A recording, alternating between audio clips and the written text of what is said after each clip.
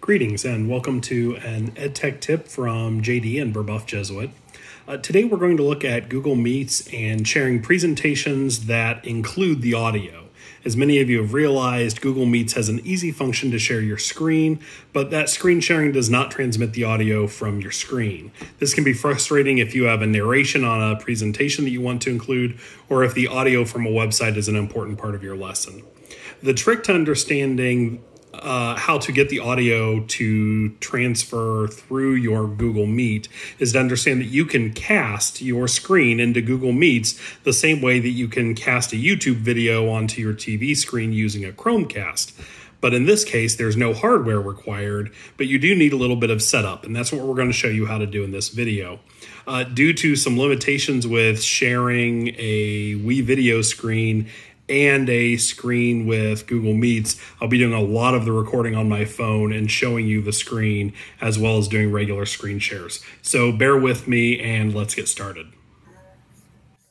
Okay, to get started, you can see here that I have my Google homepage up and across the top I have an address bar along with a number of extensions that I have already installed.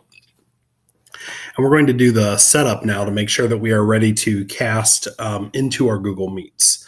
The first thing you want to check is to make sure that you are logged in with your school account. This doesn't work very well if your Chrome browser is logged into a personal account. So what we're going to do, if you ever need to double check to make sure you're in your school account, is you click on your menu bar, you go down to settings, and the first thing you see on the settings is you and Google. And under you and Google, it should be your school address. Mine is jdferries at brebeuf.org, so we know that that's correct. The second thing that we're going to do is work with our cast icon to make sure everything is ready for us to cast in.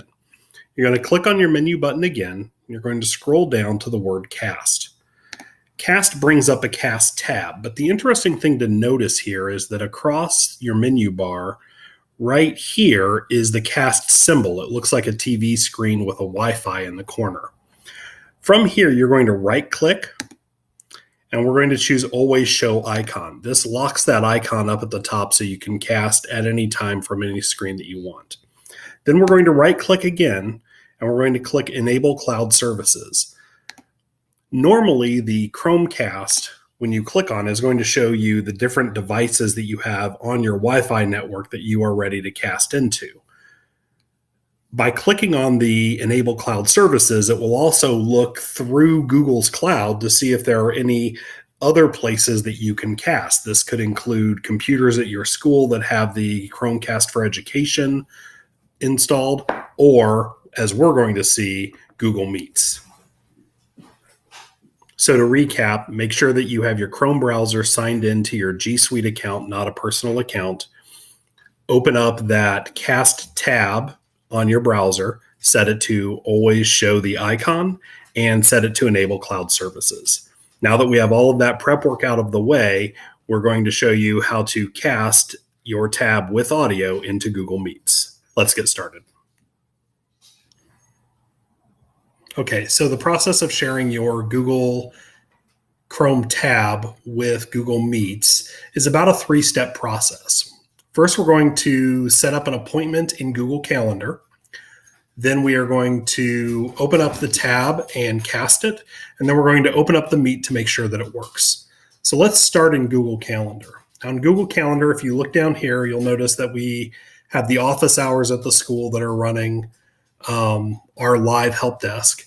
And then down here, you'll see that there's an appointment called Casting with Audio.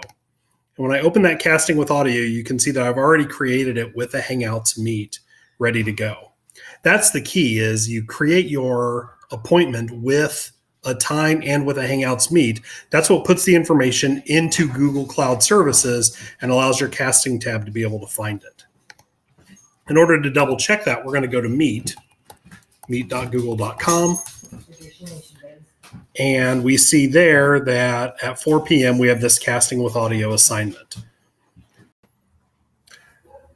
For step two, we're going to open up the media that we want to cast into our meet with audio. So let's go to youtube.com.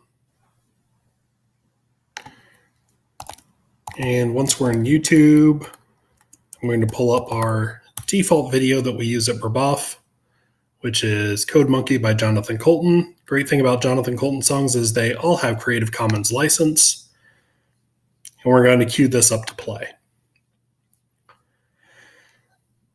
Now here's where the cool part is. We go to the cast tab that we set up earlier, and it still has all of the different extensions that we can cast to that are part of my household.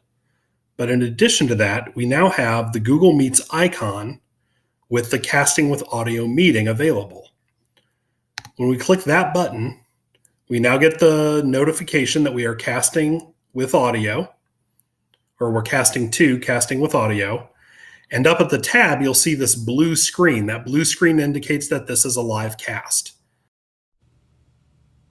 So from the Chromebook, we see that we have the video that is set up to cast, and it is casting right now.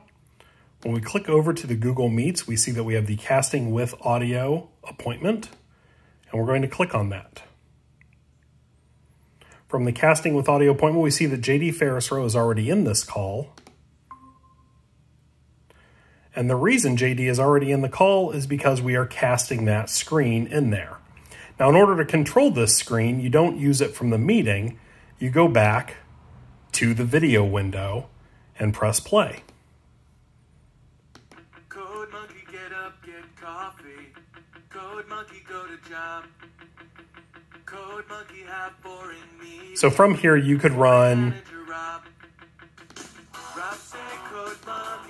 the audio, the video, just as if you were running a presentation that had audio and everybody would be able to see it, and more importantly, hear the video from the screen that you're casting. When you're ready to be done casting, you can go up to your casting tab, scroll down to where you're casting and hit stop casting. And that changes it back to a regular video meet. I think that about does it for our tip. I hope that this has been useful for you and that you now feel comfortable being able to put audio with your presentations inside Google Meets. If you have any other questions, comments, or concerns, always feel free to reach out to me on social media. I'm JD Ferries on Twitter, on Instagram, and just about anything else you can find. Thank you and have a great evening.